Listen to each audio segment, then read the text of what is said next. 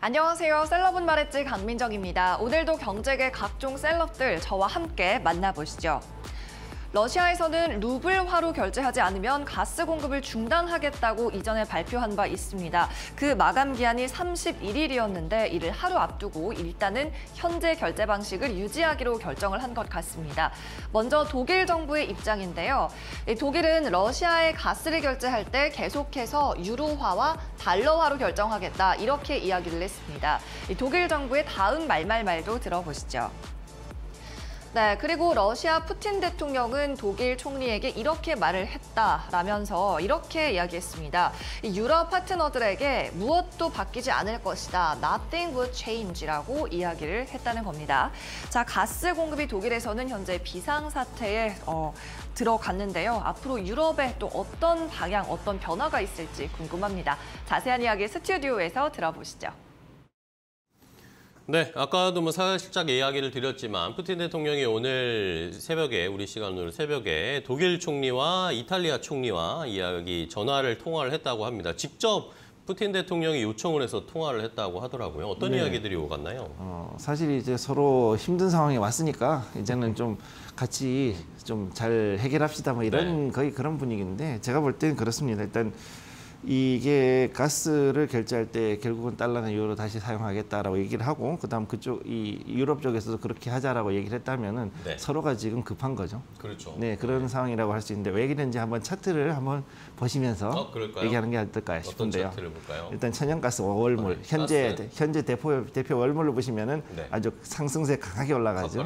네 여기 보시게 되면 여기에서 이 우크라이나 전쟁이 시작된 요 2월 말 이점에서부터 이미 이 두 번 투픽스를 만들고 난 다음 음. 여기서 강하게 지금 밀어 올렸습니다. 네. 그래서 현재 6달러 50센트까지 갈 수 있지 않을까라는 그런 불안감까지도 한번 만들었던 적이 음. 있었거든요. 그럼 지금 현재 상황에서 봤을 때 지금 5달러 6, 5달러 56센트의 MBTU당 거래가 되고 있는데 요게 아마 지금 봤을 때는 한 6달러 근처까지는 한 번 정도는 칠 수 있지 않을까 저는 음. 개인적으로는 그렇게 보고 있습니다. 근데 그 정도까지는 아니더라도 아무튼 지금 이렇게까지 어, 왔다 그러면은 여기에 대해서는 충분히 현재 그 부족분이 엄청나다는 거죠. 음. 그러다 보니 카타르한테도 가가지고 일단 이러기를 얘기를 한 거니까 결국은 아마 조금 있으면은 아마 1, 2주 내에 거의 어느 정도 이제 안정권으로 들어갈 것인데 아마 단기적으로 한번 튀어오를 수 있지 않을까 그렇게 보고 있습니다. 알겠습니다. 자 일단은 뭐 러시아 쪽에서 루브라로만 결제하지 않고 유로화로도 결제해주겠다라는 이야기가 나왔지만 한 번 더 천연가스 가격 피크 칠 수 있는 뭐 상승의 가능성이 있다. 그렇기 때문에 이제 피크 치고 뭔가 좀 안정세를 찾지 않을까라는 기대감을 좀 가져보도록 하겠습니다. 천연가스 가격까지 한번 저희가 체크를 해드렸고요. 자, 그럼 다음 두 번째 이야기로 넘어가겠습니다. 두 번째 셀럽 소개해 주세요, 강민정 캐스터. 네, 두 번째 셀럽도 만나보겠습니다. 이 셀럽은 디젤이 생각보다 인플레이션에서 차지하는 비중이 높다 이렇게 분석하고 있는데요. 에너지 정보 업체인 케이플러 소속 분석가입니다. 자, 우리가 공급 문제 때문에 이 crude rallying, 원유의 랠리를 보고 있지만요. 디젤은 이 랠리를 이미 앞서가고 있습니다. 왜냐하면 supply concerns, 공급 우려 때문입니다. 라면서 현재 증류액의 재고가 8년 만에 최고치를 기록하고 있다. 이렇게 발언을 했습니다. 그리고 디젤의 공급은 러시아가 우크라이나를 침공하기 전에도 부족했다 이렇게 말을 하고 있는데요. 역시 자세한 이야기 소장님과 앵커님께 들어보시겠습니다. 자, 두 번째 이야기는 디젤 이야기입니다. 디젤의 재고가 뭐 그전에 뭐 전쟁 나기 전부터 부족했는데 지금 더 심각하다라는 그런 취지의 언급이었습니다. 네, 지금 가장 큰 이슈는 이 디젤이 원래 이 우리는 일단은 승용차라든가 다른 데도 네. 많이 쓰지 않습니까? 네. 그런데 지금 이 이런 그 미국 내에서 디젤 같은 경우는 산업에 굉장히 많이 쓰이고 있거든요. 오.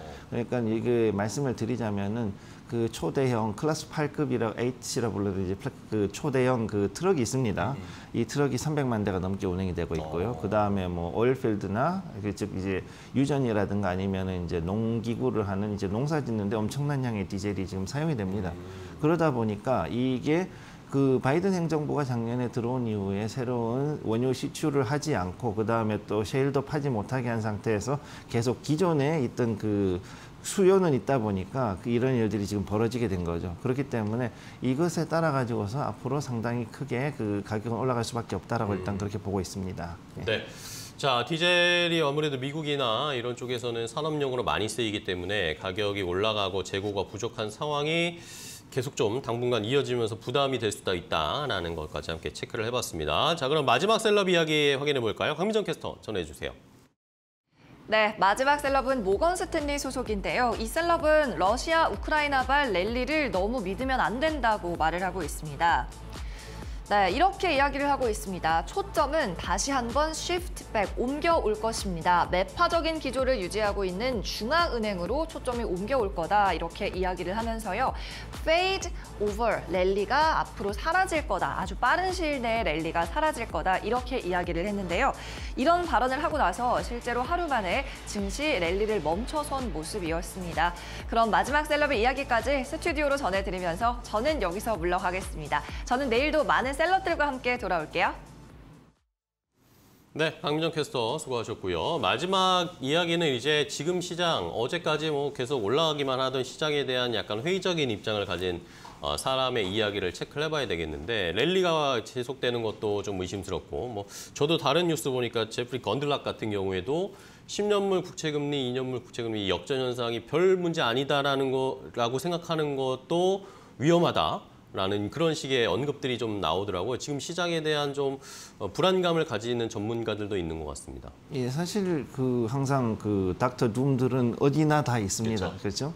근데 이제 중요한 거는 어, 지금 현재 차트를 봤을 때는 역시 그게 어, 굉장히 좀 힘든 상황이다라고 말씀드릴 수 있는 거죠. 어. 지금 여기 S&P 500으로 일단 먼저 설명을 네, 드릴게요. S&P 500 차트고요. S&P 500 차트로 보시게 되면은 여기에서 이렇게 지금 박스권 안에서 지금 계속 움직여 있거든요. 네네. 그런데 여기서 보시면 작년부터 해가지고 랠리는 이제 쭉 해가지고서 천천히 왔는데 문제는 여기에서 원래는 하락이 이제 어느 정도 파동이 파동이 나와야 되는데 음. 대략 한 10% 정도만 이제 조정을 받고 나서 여기서 반등하려는 움직임을 반등하는. 보이는 모습입니다. 원래는 근데 여기에서 이게 조금 여기에서 어떤 부분에서 문제가 되냐면 실제로는 한 요 정도에서 원래는 다시금 한번 하락 파동이 발생을 해야 되는 게 맞는 거거든요. 요, 지- 요 지점이 근데 그게 아니고 여기서 다시금 이렇게 올라갔는데 이거는 지금 갭을 띄웠다는 얘기는 굉장히 좀 무리해서 돈을 끌어서서 올렸다는 어. 얘기죠. 레버리지를 쓴 거죠. 그러니까 여기서 이것이 단기적인 차익 실현 매물이 나와서 오늘 이렇게 떨어진 거고 즉 이런 상태에서는 앞으로 박스권이 상당 기간 좀 지속이 될 수 있거나 아니면 여기서 오히려 한 번에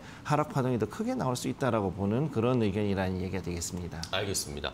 자, 시장에 대해서 현재 시장을 무조건 낙관적으로만 보면 안 된다라는 의견도 있다라는 건 함께 확인을 해봤습니다. 자, 오늘 김성규 소장과 함께 What's Up 그리고 셀럽은 말했지까지 이야기 나눠봤습니다. 오늘도 좋은 insight 주셔서 감사하고요. 내일 또 뵙도록 하겠습니다. 소장님 고맙습니다. 고맙습니다. 감사합니다.